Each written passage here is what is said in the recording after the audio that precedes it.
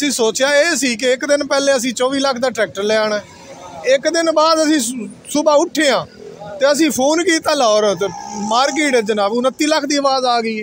ਅਸੀਂ ਭੈਣ ਚੋ ਸਿਰ ਫੱਦ ਕੇ ਬਹਿ ਗਏ ਆ ਵੀ ਇਹ ਕੀ ਹੋ ਗਿਆ, ਜ਼ੁਲਮ ਹੋ ਗਿਆ। ਸਨ ਇਹ ਹਕੂਮਤ ਜਿਹੜੀ ਹੈ ਨਾ, ਇਹ ਕਿਸਾਨ ਮਾਰ ਮੁਕਾਊ ਚੱਕਰਾਂ 'ਚ ਠੀਕ ਹੈ ਨਾ ਇਤਨਾ ਮਹਿੰਗਾ ਟਰੈਕਟਰ ਜਿਹੜਾ ਨਾ ਪਾਕਿਸਤਾਨ ਦਾ ਇਜਾਦ ਹੋਇਆ ਆ ਇਹ ਜ਼ਰਾਤ ਹੁਣ ਵੇਖੋ ਨਾ ਬੈਲ ਵਾਲਾ ਦੌਰ ਤਾਂ ਚਲਾ ਗਿਆ ਨਾ ਹੁਣ ਮਸ਼ੀਨਰੀ ਦੌਰ ਹੈ ਟਰੈਕਟਰ ਤੋਂ ਬਗੈਰ ਅਸੀਂ ਕੁਝ ਵੀ ਨਹੀਂ ਕਰ ਸਕਦੇ ਲੇਕਿਨ ਜ਼ਰਾਤ ਵਾਸਤੇ ਛੋਟੇ ਜ਼ਿਮੀਂਦਾਰ ਵਾਸਤੇ ਬਹੁਤ ਬੜਾ ਉਹਦੀ ਜ਼ਰੂਰਤ ਵੀ ਹੈ ਲੇਕਿਨ ਉਹਦੇ ਵਾਸਤੇ ਜ਼ੁਲਮ ਵੀ ਉਹਦੇ ਤੇ ਬਹੁਤ ਹੋ ਰਿਹਾ ਵਾਲੇਕੁਮ ਅਸਲਾਮ ਜੀ ਇਮਤਿਆਜ਼ ਭੱਟੀ ਜੀ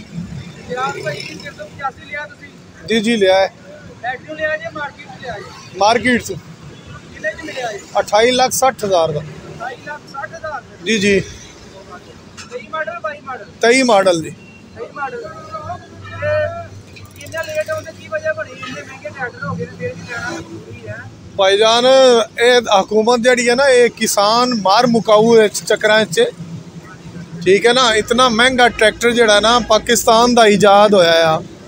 ਪੰਜਾਬ ਵਿੱਚ ਇਜਾਦ ਹੋ ਰਿਹਾ ਸਾਨੂੰ, ਜ਼ਿਮੀਦਾਰਾਂ ਨੂੰ 28 ਲੱਖ 60 ਹਜ਼ਾਰ ਦਾ ਇਹ ਕਿਸਾਨ ਮਾਰਨ ਵਾਲਾ ਸਿਸਟਮ ਹੈ।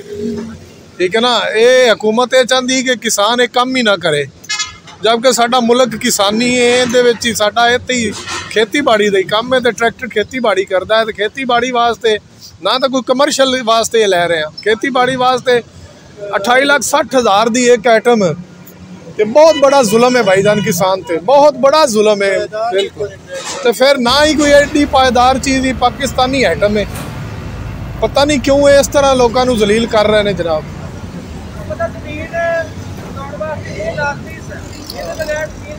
ਬਾਜੀ ਜ਼ਰਾਤ ਹੁਣ ਵੇਖੋ ਨਾ ਬੈਲ ਵਾਲਾ ਦੌਰ ਤਾਂ ਚਲਾ ਗਿਆ ਨਾ। ਹੁਣ ਮਸ਼ੀਨਰੀ ਦੌਰ ਹੈ ਟਰੈਕਟਰ ਤੋਂ ਬਗੈਰ ਅਸੀਂ ਕੁਝ ਵੀ ਨਹੀਂ ਕਰ ਸਕਦੇ। ਲੇਕਿਨ ਜ਼ਰਾਤ ਵਾਸਤੇ ਛੋਟੇ ਜ਼ਿਮੀਂਦਾਰ ਵਾਸਤੇ ਬਹੁਤ ਬੜਾ ਉਹਦੀ ਜ਼ਰੂਰਤ ਵੀ ਹੈ ਲੇਕਿਨ ਉਹਦੇ ਵਾਸਤੇ ਜ਼ੁਲਮ ਵੀ ਉਹਦੇ ਤੇ ਬਹੁਤ ਹੋ ਰਿਹਾ।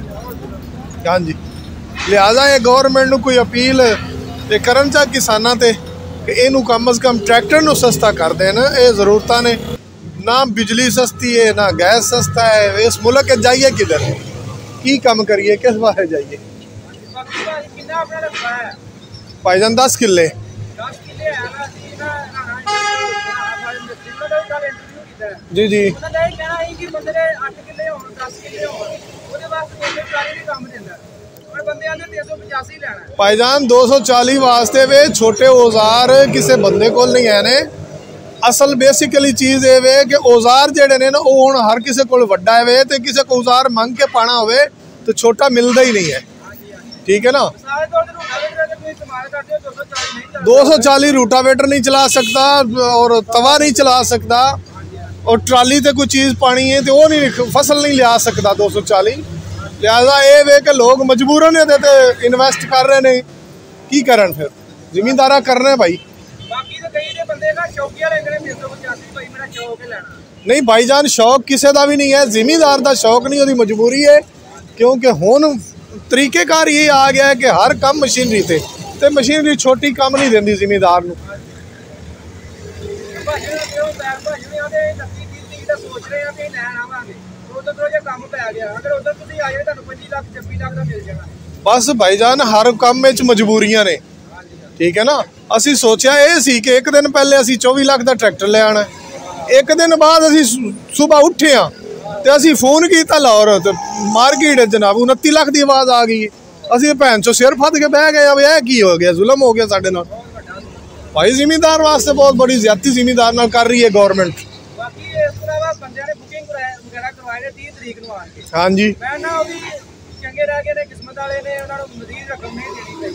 ਦੇਖੋ ਭਾਈਜਾਨ ਇਹ ਤਾਂ ਵੇਖੋ ਨਾ ਜੇ ਇਹ ਹੁਣ ਅਗਰ ਕਿਸੇ ਨੂੰ ਸਾਨੂੰ ਵੀ ਪਤਾ ਹੁੰਦਾ ਤਾਂ ਅਸੀਂ ਵੀ 3 ਆ ਕੇ ਬੁਕਿੰਗ ਕਰਵਾ ਜਾਂਦੇ ਇਸ ਚੀਜ਼ ਦਾ ਤਾਂ ਪਤਾ ਨਹੀਂ ਹੈ ਨਾ ਕਿਸੇ ਨੂੰ ਇਹਨਾਂ ਯਕਦਮ 5 ਲੱਖ ਰੁਪਈਆ ਮਾਰਕੀਟ 'ਚ ਟਰੈਕਟਰ ਦੇ ਉੱਤੇ ਪਾ ਦਿੱਤਾ ਮਿਲਤ ਦੀ। ਇਹ ਹਜ਼ਾਰਾਦਾਰੀ ਹੈ ਨਾ ਆਪਣੀ ਇਹਨੂੰ ਪੁੱਛਣ ਵਾਲਾ ਕੋਈ ਨਹੀਂ ਹੈ। ਭਾਜੀ ਜਿੱਦਣ 31 ਤਰੀਕ ਨੂੰ ਇਜ਼ਾਫਾ ਹੋਣਾ ਸੀ ਨਾ ਡੀਲਰਾਂ ਨੂੰ ਪਤਾ ਲੱਗ ਗਿਆ ਸੀ ਇਜ਼ਾਫਾ ਹੋਣਾ ਰਾਤੋਂ ਰਾਤ 100 ਤੋਂ 200 ਟਰੈਕਟਰ ਆ ਗਿਆ ਹਾਂ, ਤੇ ਉਹ ਡੀਲਰਾਂ ਨੇ ਬੈਨੀਫਿਟ ਉਠਾਣਾ ਹੈ ਨਾ। ਮਾਰਕੀਟ 'ਚ ਉਹਨਾਂ ਨੂੰ ਪਤਾ ਲੱਗ ਗਿਆ, ਉਹਨਾਂ ਨੂੰ ਮਿਲਤ ਨੇ ਕਹਿ ਦਿੱਤਾ ਕਿ ਭਾਈਜਾਨ ਅਸੀਂ ਟਰੈਕਟਰ ਮਹਿੰਗਾ 5 ਲੱਖ ਕਰਨ ਲੱਗੇ ਆ ਬੁੱਕ ਕਰਵਾਣੇ ਜੇ ਤੇ ਕਰਵਾ ਲਓ। ਮਿਲ ਰਾਤੋਂ ਰਾਤ ਬੁੱਕ ਇਹਨਾਂ ਰਾਤੋਂ ਰਾਤ ਡੀਲਰਾਂ ਨੇ ਰਾਤੋਂ ਰਾਤ ਬੁੱਕ ਕਰਵਾ ਰਹੇ ਨੇ, ਉਹੀ ਮਾਰਕੀਟ 'ਚ ਅਸੀਂ 28 ਲੱਖ 60 ਹਜ਼ਾਰ ਦਾ ਲੈ ਰਹੇ ਹਾਂ, ਜਿਹੜਾ ਕਿ 23 87 ਦੀ ਇਨਵਾਈਸ ਹੈ। ਕਿਸਾਨ ਦਾ ਹੱਕ ਮੰਨਦਾ ਕਿ ਜਦੋਂ ਇਹ ਰੱਖਦੇ ਮਤਲਬ ਡਾਕਾ ਮਾਰਦੇ ਨੇ ਇਸੇ ਤਰ੍ਹਾਂ ਹੀ ਮਿਡਲ ਸਾਈਡ ਤੇ ਵੀ ਜਦੋਂ ਬਾਜੀ ਕਿਸਾਨ ਦਾ ਖੈਰ ਖਾ ਹੀ ਨਹੀਂ ਹੈ ਕੋਈ, ਇਸ ਹਕੂਮਤ ਵਿੱਚ ਕਿਸਾਨ ਦਾ ਖੈਰ ਖਾ ਹੀ ਨਹੀਂ ਹੈ ਕੋਈ। ਤੇ ਫਿਰ ਕਿਸਾਨ ਨੇ ਕੀ ਕਰਨਾ ਵਿਚਾਰੇ ਰੋ ਰੁਲੇਗਾ ਹੀ ਕੰਮ ਨਹੀਂ ਹੋਣਾ ਮਸ਼ੀਨਰੀ ਤੋਂ ਬਗੈਰ ਹੋਣਾ ਹੀ ਨਹੀਂ ਉਹਦਾ ਕੰਮ। ਇਹ ਤਾਂ ਸਾਡੀ ਮਾਈਸ਼ਤ ਹੀ, ਸਾਡੀ ਮਾਈਸ਼ਤ ਹੀ ਜ਼ਰਾਤ ਹੈ ਬਾਜੀ। ਵੇਖੋ, ਅਸੀਂ ਜ਼ਰਾਤ ਦੇ ਸਿਰ ਤੇ ਜ਼ਿੰਦਾ ਵਾਂ। ਤੇ ਅਗਰ ਜ਼ਰਾਤ ਹੀ ਨਹੀਂ ਰਹਿਣੀ, ਤੇ ਫਿਰ ਕਿਹਦੇ ਪਾਕਿਸਤਾਨ ਨੇ ਤਰੱਕੀ ਕਰਨੀ ਹੈ? ਡਿਫਾਲਟ ਹੋਣ ਦੇ ਧਾਨੇ ਤੇ ਚਲੇ ਗਏ ਆ ਭਾਈਜਾਨ ਕੋਈ ਚੀਜ਼ ਨਹੀਂ ਹੈ। ਬਸ ਜੀ ਇਹ ਹੀ ਸੋਚ ਰਹੇ ਕਿ ਅੱਲਾਹ ਤਾਲਾ ਚਲੋ ਸਾਨੂੰ ਵੀ ਕਾਮਯਾਬ ਕਰੇ ਇਹਦੇ ਵਿੱਚੋਂ ਅਸੀਂ ਵੀ ਕਮਾ ਕੇ ਖਾਣਾ। ਇਹ ਇਸੇ ਉਮੀਦ ਲਈ ਲੈ ਚੱਲੇ ਆ ਜੀ ਜੀ ਮਿਹਰਬਾਨੀ ਭਾਈ ਥੈਂਕ ਯੂ